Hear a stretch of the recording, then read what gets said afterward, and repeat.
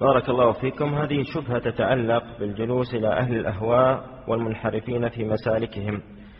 يقول بعض الناس يجالس أهل البدع ويستمع لهم فإذا حذر من الاستماع قال الله أعطاني عقلا أميز به الصواب من الخطأ وربما ردد كلمة بعض العلماء كل يؤخذ من قوله ويرد. لو أعطاك الله عقلا ما جالسته.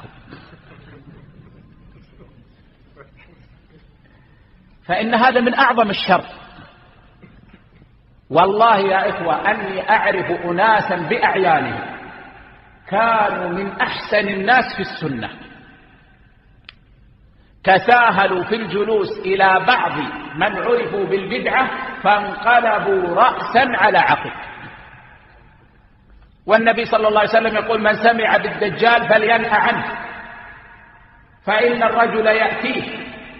وهو يظن أنه هو فلا يلبث أن يتبعه لما أوتي من الشبهات. فلا بد من الحذر والبعد وعدم التساهل في مجالسة أهل البدع والاستماع لهم. فإن سلامة الدين لا يعدلها شيء. والهوى يعمي ويصب ويعدي ويسبب البلاء. فلا ينبغي للإنسان أن يتساهل في دينه بل ينبغي الحذر الشديد والتمسك بالسنة وأهلها. نكثر أهل السنة ونكثر سوادهم.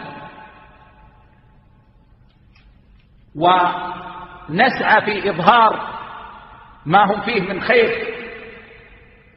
ولسنا بحاجة إلى مجالسة